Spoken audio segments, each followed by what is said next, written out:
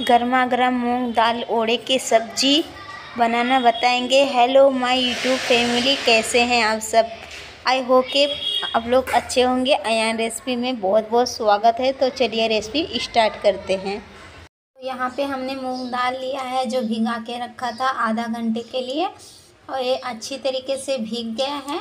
इसे हम मिक्सर में ग्राइंड कर लेंगे। सबसे पहले पेस्ट तैयार करेंगे।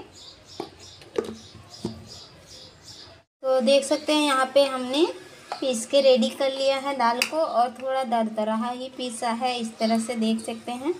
आप लोग को भी दिख रहा होगा। तो यहाँ पे हम डालेंगे कांदा। दो छोटे साइज़ हमने काट के रखा था। यहाँ पे डाल देंगे कुछ हरी मिर्च। और यहाँ पे कुछ मसाले डालेंगे। धनिया पाउडर एक चम्मच, ज़्यादा नहीं ऐड करना है। मिर्ची पाउडर हाफ़ चम्मच, गरम मसाला पाउडर हाफ़ चम्मच थोड़ा सा हल्दी पाउडर कलर के लिए। और यहाँ पे मिक्स कर देंगे। चाहे तो आप हरा धनिया भी ऐड कर सकते हैं इसमें। पर मेरे पास धनिया अवेलेबल नहीं है तो हमने यहाँ पे नहीं यूज़ किया है। और थोड़ा सा नमक ऐड करेंगे। नमक आप अपने टेस्ट के हिसाब से ऐड कर सकते हैं।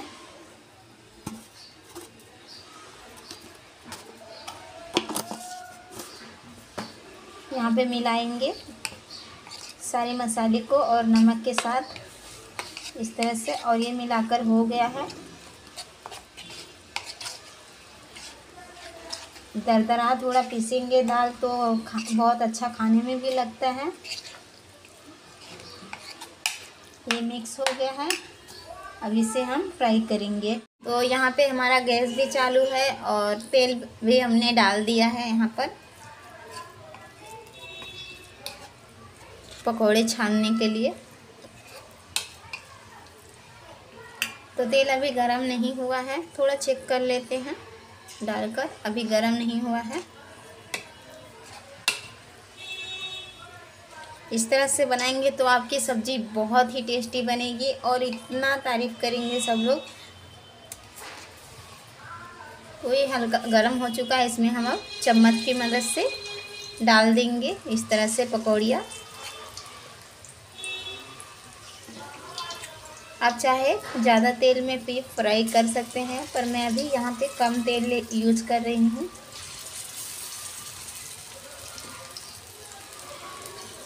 ये कम तेल में भी हो जाता है और तेल भी वेस्ट नहीं होता है।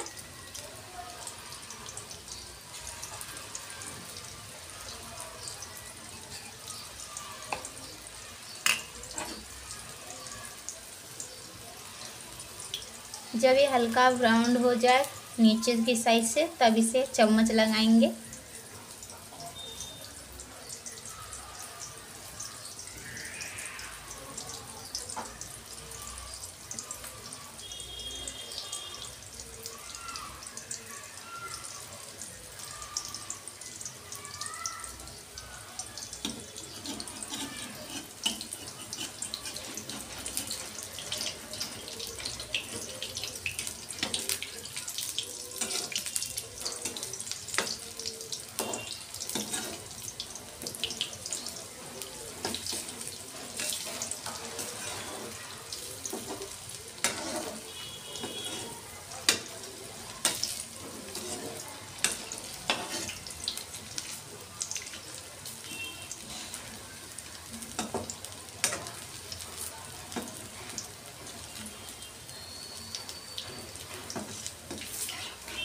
तो इसे अब हम पलटी कर देंगे।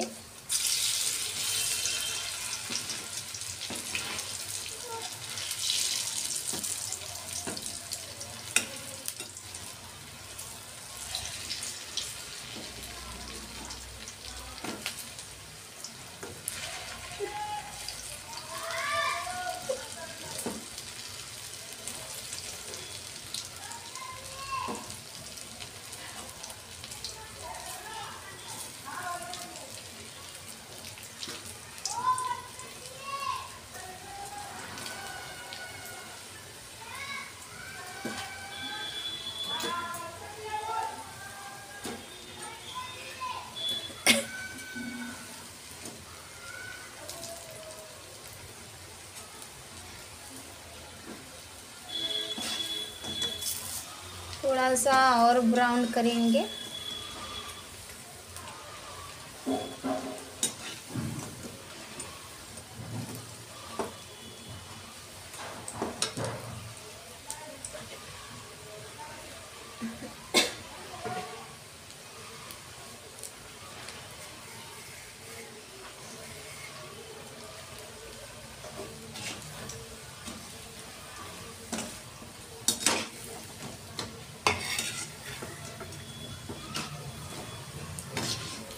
और ये फ्राई हो चुके हैं। अब हम इसे प्लेट में निकालेंगे। यहाँ पे हम डालेंगे तेल बच गया था और यहाँ पे डालेंगे अदरक, लहसुन, पेस्ट। और यहाँ पे हमने डाल दिया है धनिया पाउडर, मिर्ची पाउडर, गरम मसाला, हल्दी पाउडर। और ये भुनकर भी हो गया है। अब इसमें डालेंगे मसाले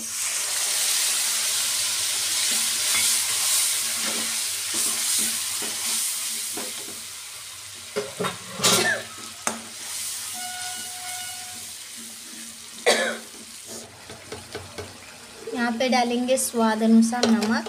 हमने पकौड़ी में भी डाला था। तो आप अपने हिसाब से ज़रूर डालिए इसमें। और देख सकते हैं कितना बढ़िया कलर आया है।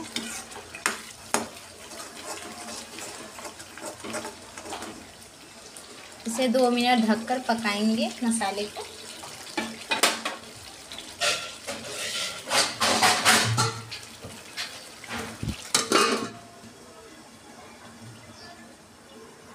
यहाँ पे हम चेक करेंगे ढक्कन हटाकर और देखेंगे, ये देख सकते हैं कितना अच्छा खुशबू भी आ रहा है और अच्छे मसाले भी भुन गए हैं हमारे। और पहले से भी भुन के रखा था हमने, जो मसाले हमने कांदा, टमाटर और मिर्ची पीसा था, वो हमने थोड़ा तेल में भून लिया था पहले। तो अभी हमें ज़्यादा भुनने की ज़रूरत नहीं है।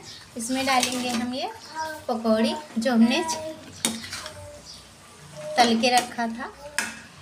बहुत ही बेहतरीन सब्ज़ी बनती है। एक बार आप भी ज़रूर ट्राई करिए। और ये रेसिपी देखिए, इस तरह से हमें मिला देना है।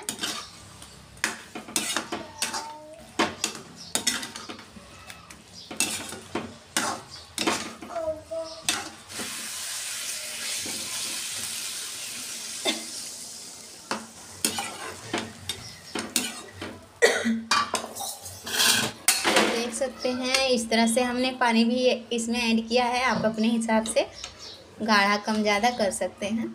और इसे अब हम ढककर पकाएँगे तीन से चार मिनट के लिए। तो यहाँ पे चेक कर लेंगे। चार मिनट हो चुका। गैस बंद करेंगे और ये देखिए, हमारी ये सब्ज़ी रेडी हो गई है बनकर। कितना टेस्टी लग रहे हैं और तेल भी बहुत ही अलग हो गया है। इसे मैं निकाल के दिखाऊँगी। मूंग दाल की सब्ज़ी गर्मा गर्म रोटी, नान, चावल, पराठा के साथ सर्व करिए और हमारे चैनल को लाइक करिए सब्सक्राइब शेयर ज़रूर करिए और सपोर्ट करिए। Thank you my YouTube family